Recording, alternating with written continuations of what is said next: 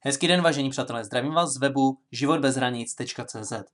Dnes nová informace, že na webu přibyl nový článek o tom, jak můžeme společně změnit svět. Vy a já dohromady. Hledáte návod na to, jak můžete změnit svět? Článek vám pomůže sestavit kroky, které potřebujete udělat k tomu, abyste svět skutečně změnit mohli. Napadlo vás někdy, že byste chtěli změnit svět? Možná ano. Ale je to vůbec možné?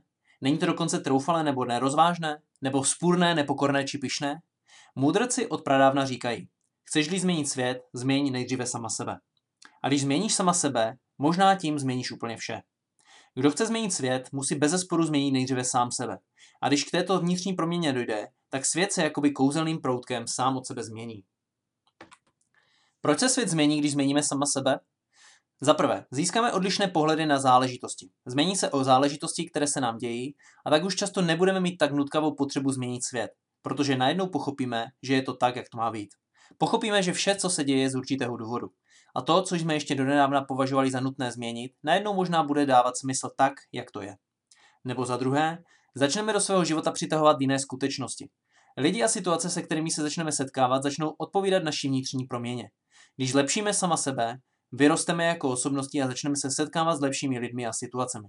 Nebo za třetí, stále budeme chtít změnit svět ale tím, že jsme změnili a zlepšili sama sebe, jsme se dostali do bodu a pozice, kdy máme skutečnou sílu a skutečnou schopnost svět skutečně změnit.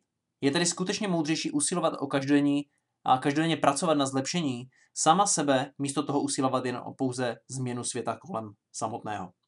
Na změnu sama sebe máme víc, navíc větší vliv a můžeme převzít 100% odpovědnost za to, že k této změně skutečně dojde. Co kdybychom však přece jen mohli změnit svět? Jestliže vás toto téma zajímá, klikněte na odkaz níže pod tímto videem a přečtěte si celý článek. Přeji vám krásný den a těším se na viděnou a naslyšenou. Naschledanou.